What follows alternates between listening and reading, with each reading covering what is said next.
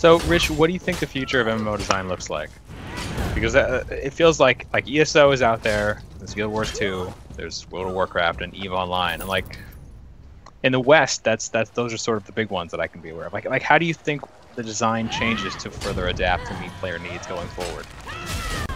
Well, I think you know first and foremost is, you know, I don't know that you're going to see kind of the traditional massive, massive, huge games, you know, coming out. You know, the the in terms of just scale and size, right? They're really expensive and they're really risky, and so convincing somebody to allow you to, you know, take that risk is is going to be a challenge. I think number one.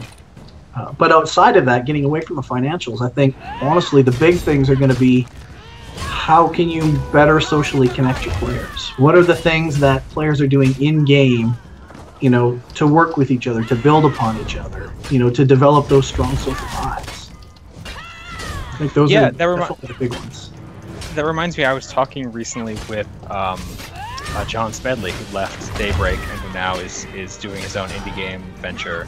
Uh, and we were talking about online game design because he, you know, he was involved with Sony Online, and he, Mhm. uh, you know, like I spent a lot of time, like worked on EverQuest, EverQuest 2, like had a lot of like studied the way people play massive multiplayer online games. So what he told me was that like, um, and he had been talking to Raph Koster several years ago too, and they had they had studied and like graphed out on average how many people your given a given player would interact with um, in the Mhm. course of their time with the game, and it was never like 2,000. It was always like 200 on average. Like people they Isn't- would have conversations with isn't- that have meaningful interactions. Isn't that Dunbar's number too? Which is like supposedly the number of people Yeah, it's people like that a per- 150 to 200 relationships that you can manage at a time. yeah. Yep. Yeah, and so so his his point to me was that like as as neat as it was to be able to say you can have two thousand people on this server.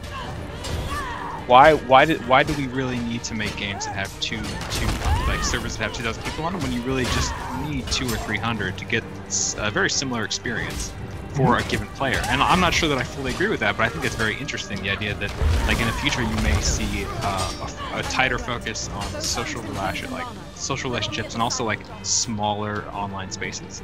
Um, I don't know how we get from here to there. Like, d- do you do you think that like uh, rather than seeing a lot of big MMORPG projects, we're going to see like a proliferation of sort of smaller indie ventures, kind of like little like little games, or do you do you see like uh, established players trying to focus in and create smaller, more intimate experiences? I think you're going to see both, honestly. Right? You know, the indie scene is pretty amazing what those guys are doing. You know, even, you know, just outside of, you know, the mainstream kind of, you know, this is a big budget, you know, I guess if they're indie, they're not big budget, but, um, you know, looking at what they're doing in, with a lot of like the Flash games, you know, and the HTML5 things, you know, there's there's tons of really amazing things that I have seen um, you know some of the indie guys, the smaller guys, do to to bring more of that socialization together.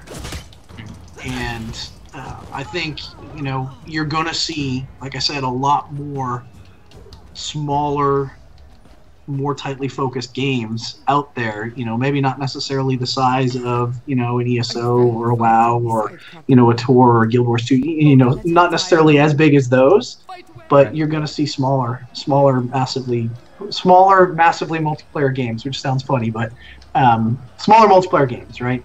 Not quite so massive. Um, Right. I, I had two thoughts that kind of that your comments made me think of. Um, one was that you have games like Destiny, which are kind of doing what Alex talked about. They're using they're they're they're very big and they have a lot of you know the large player base, but the players only have so much social interaction, like at a much Mhm. smaller scale that maybe matches what Alex is talking about. You know, like 200 person, X number of people, not even 200 in a given instance of like you know the public areas. But um, the second thing that thought me, um, like I said, um, mo- the mobile space, mobile online games are very like I don't know. They're like they, they seem like a big part of what you're talking about because at um uh, in my experience with the field, they're like you have places where like the server like they don't necessarily focus on trying to get all these people into the same physical space but even like a little lobby where all the characters are hanging out before you and your friends go off on missions um, that's a very common feature in online these online like brawler games which aren't even necessarily like like I don't know, like some of them, like uh, some of the ones that I had previously worked with, uh, did have more raid-like experiences and looked like other MMOs. Others were like puzzle games where people still did similar things. So I think that's that's that's a, to build off your observation. The mobile space has certainly reshaped how MMOs work. Yeah, I mean, I've, I've played a bunch of, you know, idle games, Yeah, you know, on sites like Kongregate and, and Armor Games and places like that, you know, where it's an idle game, but they have guilds and they have chat. And so, like, that's another, you know, there's a social aspect. They get, you know, they're, those guys are understanding that the way you get people to stay and play is develop social ties. yeah. You're seeing it come everywhere now. It reminds me, Rich. You mentioned you have been making games for a while.